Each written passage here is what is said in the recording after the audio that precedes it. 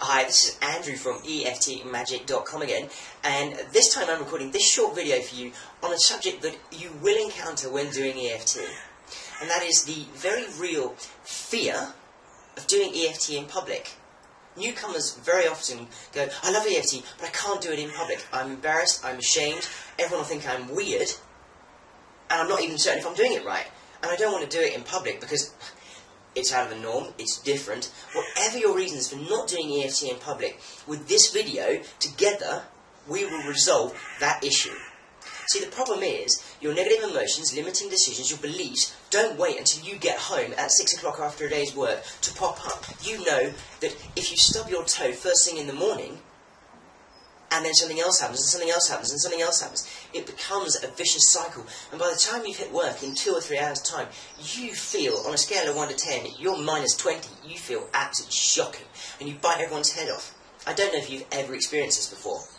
There are many reasons why we don't like doing EFT in public. I think the biggest is it looks really odd. I mean, if you're walking down the supermarket aisle and you're going, I deeply and completely love, forgive, and accept myself, and you're not used to it, and you're not comfortable with doing EFT, you're wondering what everyone else is thinking.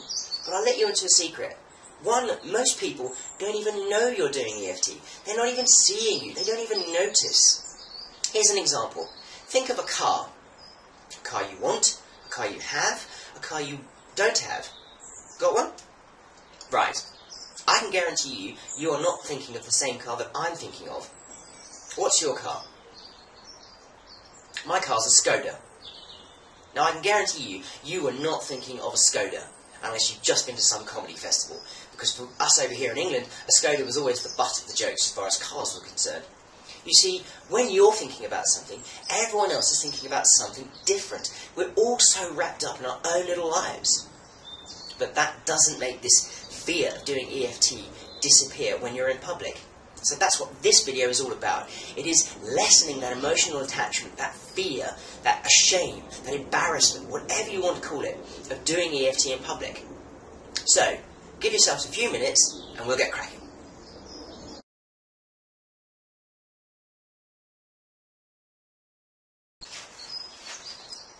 So let's do another round on being afraid to do EFT in public. Starting on the karate chop point. Even though I'm afraid and embarrassed to do EFT in public, I deeply and completely love, forgive, and accept myself anyway. Even though I don't like it when others see me do EFT, because I'll have to explain myself and why I'm wanting to change, I deeply and completely love, forgive, and accept myself anyway.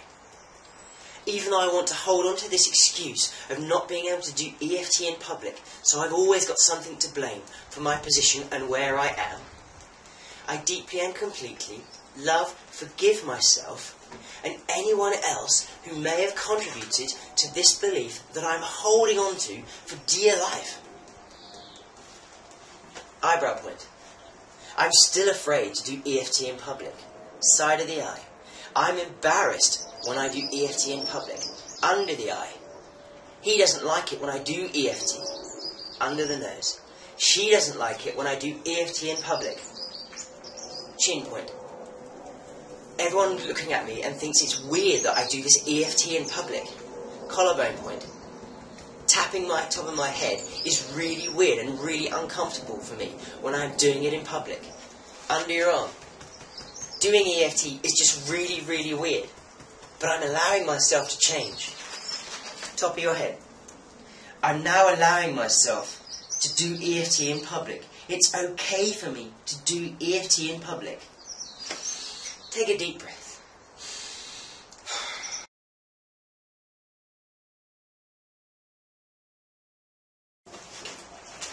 So let's just do one final round of tapping to remove everything we can of this fear of doing EFT in public.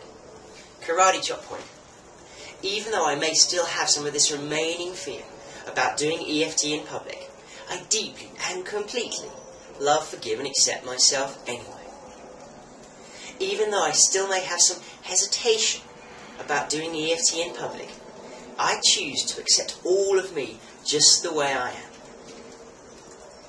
Even though I still have some remaining doubt about doing EFT in public, I'm choosing to allow myself to let this go now. Eyebrow point. I'm choosing to resolve this belief. Side of the eye. I'm choosing to let this go now. Underneath the eye. I'm the one that allows me to change. Under your nose. The only approval I need is of myself. Chin point. I'm allowing myself to step into my own natural brilliance and use EFT whenever I want. Collarbone point.